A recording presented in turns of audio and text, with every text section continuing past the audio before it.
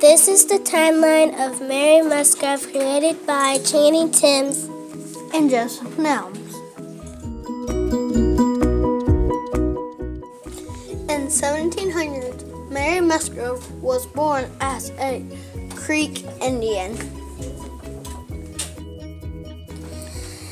In 1709, Mary, Mary's mother died. Then she lived with her English father.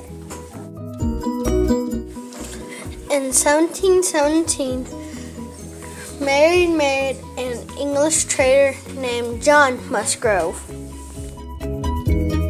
In 1732, Mary helped establish Georgia by being an interpreter.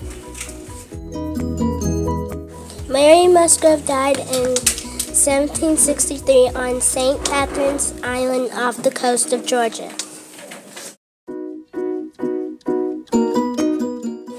Thank you for watching the timeline of Mary Musgrove created by Chaney Timms and Joseph Nelms